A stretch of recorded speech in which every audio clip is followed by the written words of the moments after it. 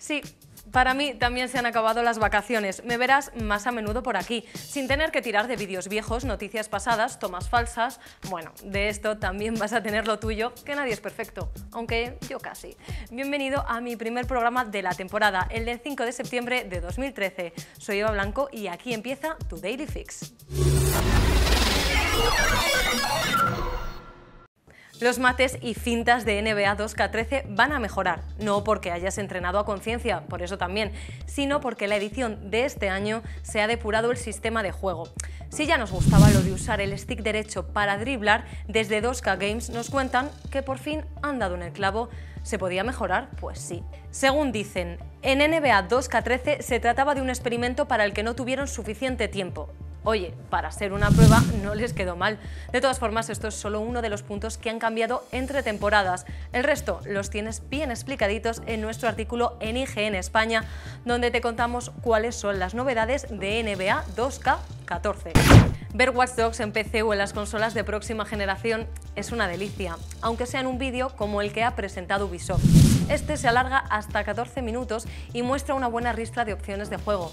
Eso sí, se trata de los primeros compases del juego cuando aún no tenemos control sobre CTOS, el sistema operativo que rige la ciudad. El protagonista se llama Aiden, su capacidad de análisis es foco y solo nos falta una mascota. Se nota que Peter Molinet no ha metido mano en este juego. Si te pasas por el análisis de Total War Rome 2 en España, verás que tiene una notaza, pero siempre se puede mejorar y si no, que se lo digan al estilista de Tony MC. Bien, pues el juego de estrategia que lo parte en PC recibe esta semana una actualización, un parche que intentará solventar algunos problemas detectados.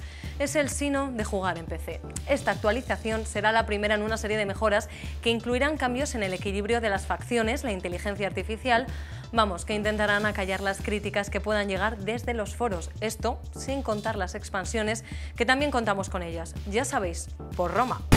Entre llevar el móvil en la mano, en el bolso o en la muñeca, no sé qué es más incómodo, pero a Samsung parece gustarle la idea del reloj inteligente.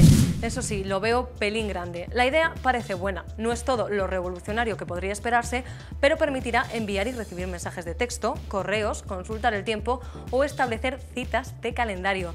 Todo esto si tenemos el móvil cerca y si no, también dispone de cámara y da la hora, pero vamos, que es una extensión del teléfono. Ahora le toca a Apple, que para el día 10 tienen preparado algo de colores. Seguimos con la tecnología y con Android, en concreto con la próxima versión del sistema operativo. Le tocaba la letra K y previo acuerdo con un fabricante de chocolatinas, aquí viene KitKat, un sistema operativo que seguramente veamos en la próxima generación de móviles LG. Lo que no está claro es quién se beneficiará de la costumbre de Google. Nestlé venderá más KitKat o veremos más dispositivos con Android. Por ahora van mil millones de activaciones en todo el mundo. ¿Cuántas chocolatinas te has comido tú hasta ahora? Eh? Y otra pregunta interesante, si después de la K viene la L, ¿tendremos una versión Lint?